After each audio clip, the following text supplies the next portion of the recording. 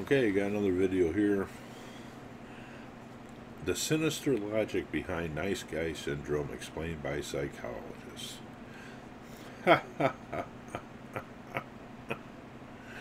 Ah, yes.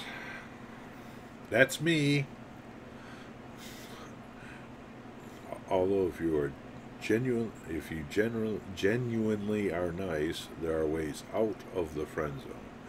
Men who complain they are unlucky in love despite their nice guy persona may have a sinister agenda. Oh, yeah. Okay. So, you ever watch these crime shows like uh, I Almost Got Away with It?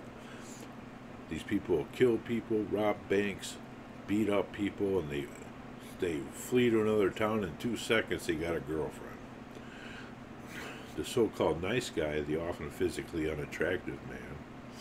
So there are no attractive men that are nice. That's not true. Who uh, overcompensates with clingy and over-the-top behavior to women? Well, women want attention, don't they? Is relentlessly mocked online. See what else it says. I haven't really read it all, but I know where it's going. The men who tend to get stuck in the friend zone might not be attractive enough on their own, physically, socially, or otherwise, and so try to so try to compensate for the shortcomings by investing women more than their peers. In other words, they might use kindness to try and make up for what they lack elsewhere. What is that supposed to mean? What's wrong with being nice? When I was a little kid, I couldn't wait to get a girlfriend. I mean, early grade school, mid grade school. I always thought, well, if I, as long as I'm nice, polite, and considerate, it shouldn't be a problem. Well, it has been a problem. Don't know why. Uh, if you meet someone's needs without having them ask, they should meet yours. Ergo, I don't know what ergo is. If a man is nice to a woman, she should repay him by, by becoming his girlfriend because that's obviously how these things work. that's what I thought. Uh, others typically do not realize these contracts exist and are often surprised when a nice guy lashes out at their failure to keep their end of the deal. You think getting friend zoned is bad? Imagine your creepy male friend thinking that you owe them sex. It's not all about sex. Hmm. Examples of nice guy behavior include performing kind gestures with the sole motive of seducing a woman. How do they know what our motives are? Can't be nice? Insisting the reason they're rejected is women like bad boys. Well, if you're saying that nice guys are not feasible, what other kind of guy is there? A bad guy. Or a not so nice guy. Believing showing basic human decency and manners makes them especially nice. Complaining about the difference between what women complain claim to want in a man and the man men they actually go for. That's true. And when things don't go the way, they often complain that they've been friend zoned despite the target of their affections never being interested in the first place.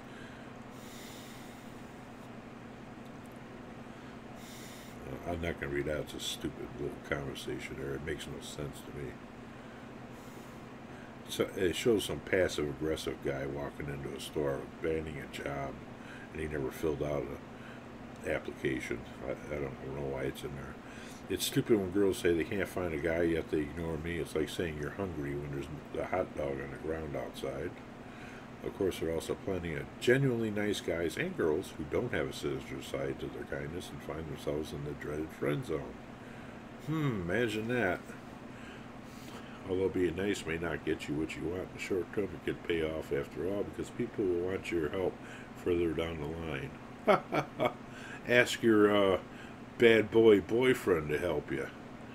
Uh, whilst it may be the object of your affections is only interested in friendship, Dr. Blah Blah Blah believes that if you find yourself feeling resentful about being in the friend zone, you need to change yourself to increase your chances of getting out.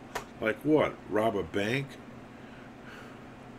oh, this stuff just gets my blood boiling, which is good because I was going to take a nap. I don't feel like taking a nap now. First, make yourself more attractive to the person you like. Hmm. Go to the gym, groom yourself more, get a good job, increase your social status. Social status. That's all. Uh huh. No one wants to go down a notch. Generally, do more of the things that per that person finds attractive, like robbing a bank. When you bring more to the table yourself, your options improve. Like what? A stack of hundred dollar bills you stole? If changing your lifestyle is too much time and energy, there's another option.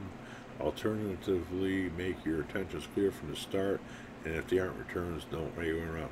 Hey, want to go for a roll in the hay?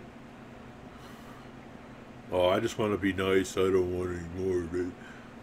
Relationships and feelings develop over time. It's not instant. If it's instant, it's all it's all sexual energy or something, you know? Baloney. He says you can avoid the friend zone by avoiding the friendships altogether. One reason nice guys will stick around is because the less nice ones won't tolerate their desires not being returned and settling for less than they want. So being nice, right there, it's a being nice is less than they want. They want a bank robber drug addict. Here's the one where I work. There was a female employee, been there for at least 10, 10 to 15 years, I, from my understanding. People seem to disagree, but at least 10 years. An excellent employee, very nice uh, lady, very nice. Well, she found herself single, got a new boyfriend, and she helped her boyfriend buy a new truck, brand new truck, and within a week it was all dinged up and smashed up and all kinds of stuff and he was in the meth. And he and she was off of work for a shoulder injury. And during that time he got her in the meth. She came off the injury and failed a drug test and fired for meth. But you know why would you want a nice guy of course, it's unheard of for a person to develop romantic, not unheard of for a person to develop romantic feelings for a friend when you get on, when you get on well already, huh? Sometimes all it takes is time or possibly alcohol. Alcohol. So now you got to drink too. And where do you drink? In a bar or outside. Then you got to drive. Yes. Drunk driving, that's a turn on. After all, don't rom coms teach us? I don't know what that is.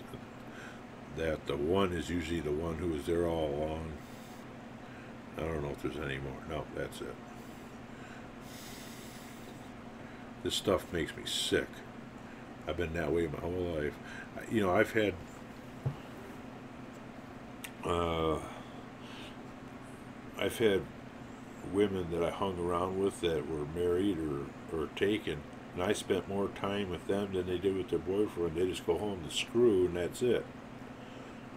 You know, I don't know. I think that's all crap in this video, uh, except for a couple things, but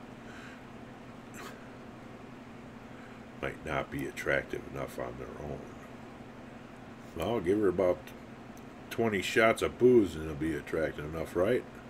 If the women are better looking at closing time, so are the men. I'm very,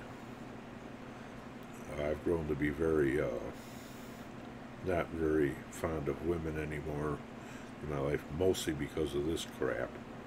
Really. I mean, if they're married, they're already taken, oh yeah, sure, then they're nice. But the second they're single, they won't come near you, even. Oh my god. Of course, I'm overweight, so that's an automatic loser. I'm an automatic loser. Now. Okay, tell me what you think. Discuss. Make a muss. Make a fuss. Like, subscribe. Let me know what you think.